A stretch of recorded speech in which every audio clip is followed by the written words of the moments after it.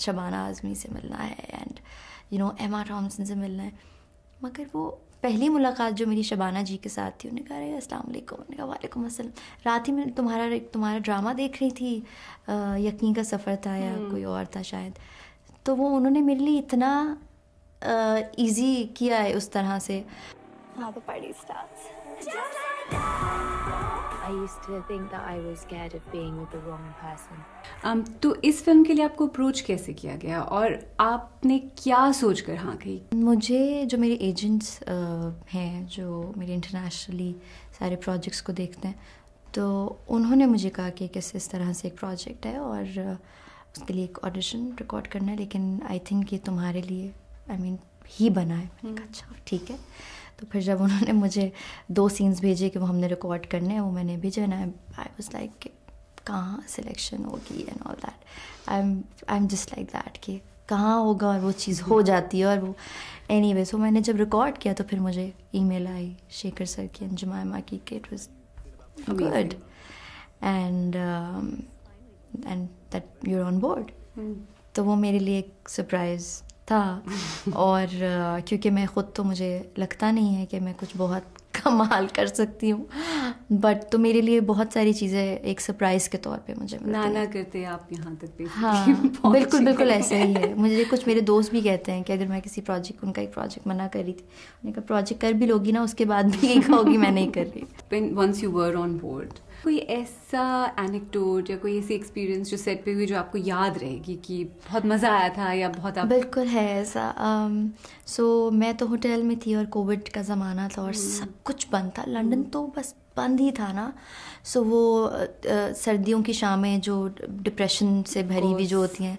सो so, मुझे शबाना जी को पता चला मैं होटल में गई। क्या मैं तो मेरे घर पे रुकूँगी? सो so, मैं उनके घर पे फिर गई और हमने एक दिन सुबह से मैंने खाना मीन चीज़ें ग्रोसरी की और फिर मैंने भिंडी अचार गोश्त और खट्टी डाल बनाई थी।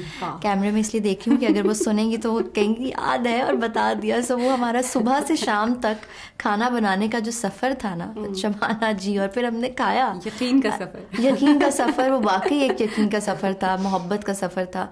सो वो रात और फिर मैंने लगाए फिर शेखर सर भी आए शहजाद लतीफ़ ने भी हमें ज्वाइन किया और हमने वो खाने खाए और मैंने उस पूरी रात जो है ना पाकिस्तानी गाने लगाए हुए थे कोक स्टूडियो के गाने चलाए हुए थे।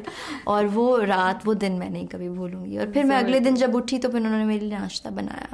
बहुत उन्होंने मेरा ख्याल रखा। तो आई थिंक आई एम मैं कभी नहीं भूलने वाली ये मेमोरी सलामकुम माजिद भाई।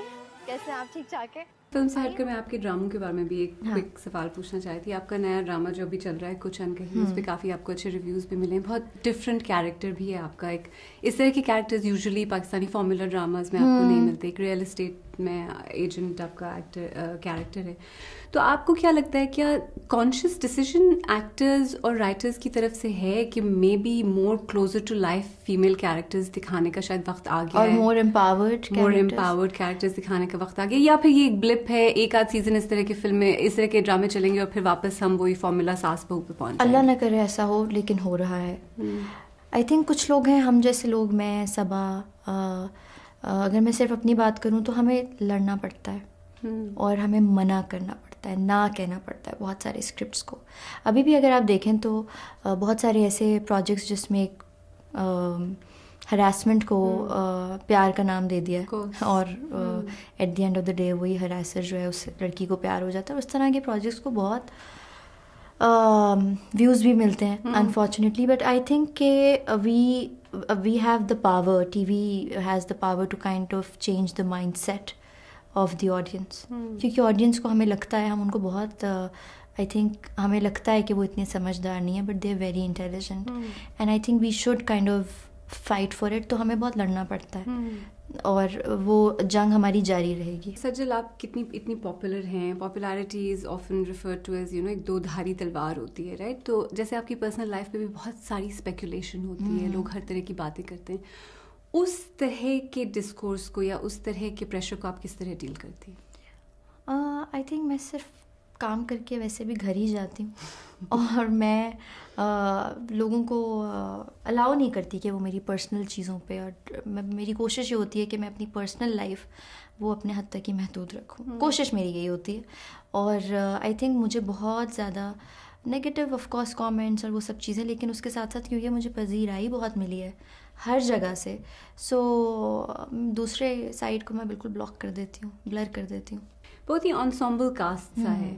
बहुत ही पैरेलल ट्रैक साथ साथ चल रहे हैं। और यूजुअली ऐसा होता है ना जो लीड हम्म। एक्टर या एक्ट्रेसेस होते हैं उनको ज़्यादा स्क्रीन टाइम मिल रहा होता है और सपोर्टिंग कास्ट को कम। लेकिन थोड़ा डिफरेंट है बिकॉज़ सारे ट्रैक्स ऐसे लगता है कि पैरेलल ही चल रहे हैं उतनी इंपॉर्टेंस उतना ही टाइम मिल रहा है। डिफरेंट एक हम्म, एक्सपीरियंस है। हम्म। वो एक्सपीरियंस आपके लिए कैसा रहा? क्या जान के आपने इस तरह का एक ड्रामा या प्रोजेक्ट लिया है जिसमें एक्चुअली डेप्थ बहुत है लेकिन शायद आपका रोल हम्म। बहुत ज़्यादा नज़र नहीं पावरिंग नहीं एग्जैक्टली आपकी आई बॉल्स उतनी शायद आपको ना मिले। हम्म, अच्छा अगर आप मेरे पिछले कुछ प्रोजेक्ट्स देखें तो उसमें क्योंकि मेरे लिए नंबर ऑफ़ सीन्स बिल्कुल मायने नहीं रखते। हम्म। ऑब्वियसली ये बात मैंने विद टाइम सीखी। सो so, मेरे इर्द गिर्द जब भी बहुत सारे एक्टर्स कहते हैं ना कि मैं टाइटल पर नहीं हूँ या मेरे सीन्स इतने कम है तो मैं कहती हूँ उससे बिल्कुल फ़र्क नहीं पड़ता। चाहे hmm. एक सीन हो if you will be honest to your craft वो एक दिन नज़र ज़रूर आएगा but you have to work hard for it so I think from Aangan to Ishqiya and then Sinf Aahan and then कुछ अनकही अगर आप उसमें मेरे सीन्स काउंट करें तो वो बहुत uh, हर सीन में मेरा किरदार और मेरी शक्ल नज़र नहीं आएगी। सो एक कहानी नहीं अच्छा है कि हम uh, कुछ अनकही में तो हमने इतनी एम्पावर्ड पूरे घर में इतनी हमारी जो ख़वातीन को हमने दिखाया है।